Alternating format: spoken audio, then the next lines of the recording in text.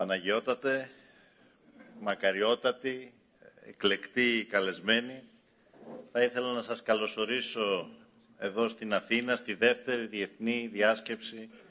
για τον θρησκευτικό και πολιτιστικό πλουραλισμό και την ε, ειρηνική συνύπαρξη στη Μέση Ανατολή. Και μαθαίνω ότι αυτή η δεύτερη διάσκεψη έχει στεφεί με ιδιαίτερη επιτυχία, καθώς ήδη από τις συμμετοχές που έχουν πολλαπλασιαστεί σε σχέση με την προηγούμενη διάσκεψη, καταλαβαίνει κανείς ότι ήταν μια όρημη και αναγκαία πρωτοβουλία. Αν δεν κάνω λάθος, έχουν ξεπεράσει τις 400 συμμετοχές από τις 150 την προηγούμενη φορά, πράγμα που φανερώνει ότι είναι μια α, εξαιρετική πρωτοβουλία αυτή του Υπουργείου Εξωτερικών, που αποτελεί και απόδειξη του σημαντικού ρόλου που διαδραματίζει η Ελλάδα στην ευρύτερη περιοχή αναδεικνύοντας για άλλη μια φορά την διαχρονική κουλτούρα του διαλόγου, της αλληλεγγύης και της ενεργού συμμετοχής της χώρας μας στην ε, επίλυση παγκόσμιων και περιφερειακών κρίσεων. Αυτή την κουλτούρα άλλωστε θα έλεγα ότι επιτάσσει και η ίδια ιστορία της Ελλάδας αλλά και του ελληνισμού ευρύτερα ο μεγάλος πολιτισμός μας που διαμορφώθηκε στο σταυροδρόμι τριών υπήρων με ακτινοβολία πολύ πιο πέρα και πολύ πιο έξω από τα σύνορά μας, ο σημαντικός ιστορικός ρόλος των ελληνικών κοινοτήτων στην ευρύτερη περιοχή, που αποτέλεσαν πάντοτε οι κοινότητες, οι ελληνικές δυνάμεις εξυγχρονισμού και δημιουργίας όπου και αν βρέθηκαν, η δύναμή μας στον τουρισμό και την αυτιλία,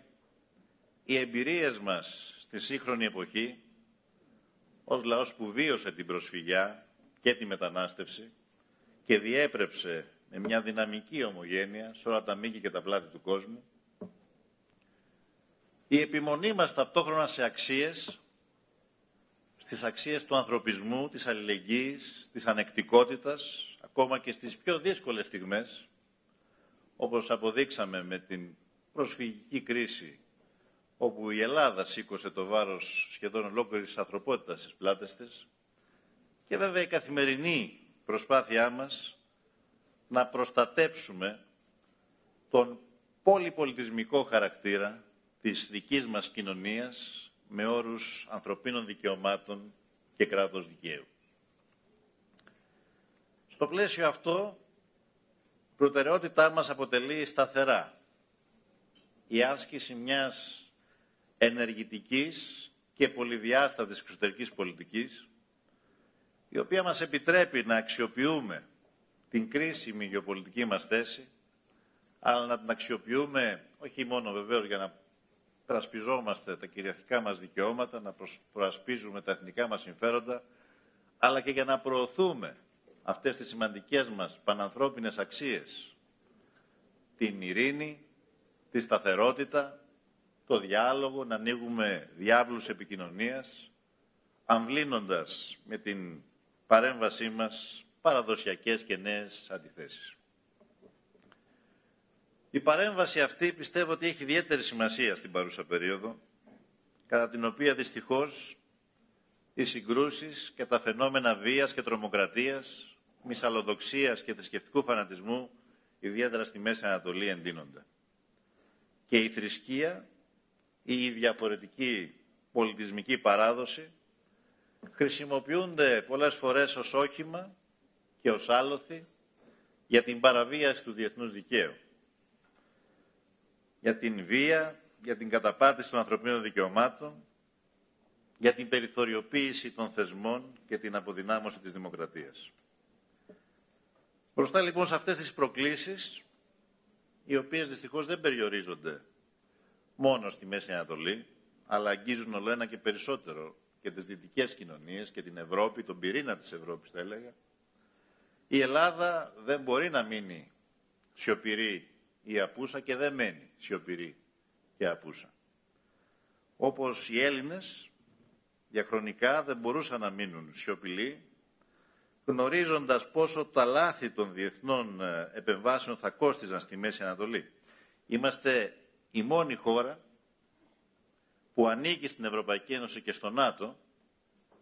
και την ίδια στιγμή βρίσκεται στην Ανατολική Μεσόγειο. Ήμασταν και είμαστε η πρώτη χώρα της Ευρωπαϊκής Ένωσης που ζήσαμε και ζούμε τις συνέπειες συγκρούσεων μέσω της προσφυγικής κρίσης. Ξέρουμε λοιπόν πολύ καλά πόσο σημαντική είναι η διατήρηση του θρησκευτικού και πολιτιστικού πλουραλισμού στη Μέση Ανατολή για τον μέλλον της Ευρώπης. Αλλά και το αντίστροφο θα έλεγα. Πόσο σημαντικό δηλαδή είναι η Ευρώπη να συμβάλλει στην ειρήνη και τη σταθερότητα της Μέσης Ανατολής με αποφασιστικότητα αλλά και στη βάση του διεθνούς δικαίου και των ε, δημοκρατικών και ανθρωπιστικών αξιών. Όχι όμως επαναλαμβάνοντας, και θέλω να το τονίσω αυτό, τα λάθη του παρελθόντος, αλλά ανοίγοντας νέους δρόμους φιλίας και συνεργασίας στην ευρύτερη περιοχή. Έτσι λοιπόν εδώ, στην κοιτίδα της δημοκρατίας και του διαλόγου, στην Αθήνα, στον τόπο άλλωστε που γέννησε τη δημοκρατία, έχουμε εγκαθιδρύσει αυτό το κέντρο για τον θρησκευτικό πλουραλισμό στη Μέση Ανατολή, το οποίο ιδρύθηκε σε συνέχεια της πρώτης διάσκεψης, για να λειτουργήσει ως θεσμός παρακολούθησης των εξελίξεων, καταγραφής προβλημάτων σε θέματα θρησκευτικού και πολιτιστικού πλουραλισμού, καθώς και παρουσίασης συγκεκριμένων προτάσεων για την αντιμετώπιση τους. Στην ίδια κατεύθυνση κινηθήκαμε ως Ελλάδα, αναπτύσσοντας και μια σειρά από πρωτοβουλίες, ο Υπουργός, ο Νίκος Οκοτζιάς, είπε πολύ καλά λόγια για μένα, αλλά θεωρώ ότι αυτή η προσπάθεια είναι μια συλλογική προσπάθεια και πιστεύω ότι στο βάθος, αν και ο κοινοβουλευτισμός έχει ανάγκη τον αντίλογο και την αντιπαράθεση, αλλά πιστεύω ότι στο βάθος ε, η μεγάλη πλειοψηφία των πολιτικών δυνάμεων του τόπου αναγνωρίζει αυτή την προσπάθεια και αυτή την ε, ε, μεγάλη και ουσιαστική ευάθυνση της ποιότητας της δουλειάς που γίνεται στο, στον τομέα της εξωτερικής πολιτικής. Έχουμε σημαντικές πρωτοβουλίες, όπως η διαρκής πια σύνοδος των χωρών του Νότου της Ευρωπαϊκής Ένωσης, οι τριμερείς και πολυμερείς συνεργασίες με σημαντικές χώρες των Βαλκανίων και της Ανατολικής Μεσογείου,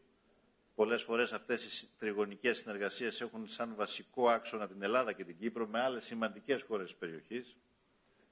Είχαμε αυτή την πολύ σημαντική διάσκεψη στη Ρόδο για την ασφάλεια και τη σταθερότητα. Το φόρουμ των ε, αρχαίων πολιτισμών που διεξήχθη για πρώτη φορά στην Αθήνα και θα συνεχιστεί και σε άλλες ε, σημαντικές πολιτιστικές πρωτεύουσες. Στηρίζουμε παράλληλα με όλες μας τις δυνάμεις την αντιμετώπιση του θρησκευτικού εξτρεμισμού και την αντιμετώπιση του φαινομένου της τρομοκρατίας.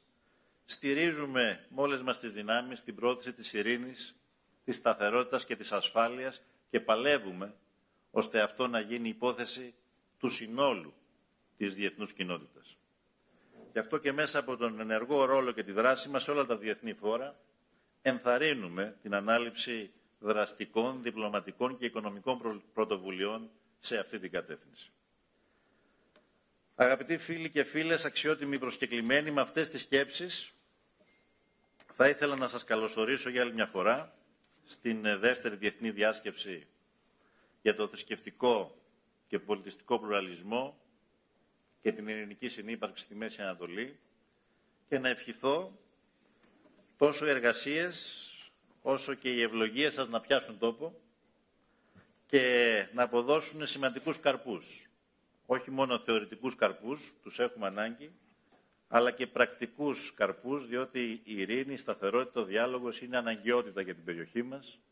και θα ήταν ευχής έργων να γίνει πράξη το συντομότερο δυνατό για το καλό της ανθρωπότητας, για το καλό των πολιτισμών μας, των λαών που διαβιούν σε αυτή την κρίσιμη περιοχή του πλανήτη. Σας ευχαριστώ θερμά.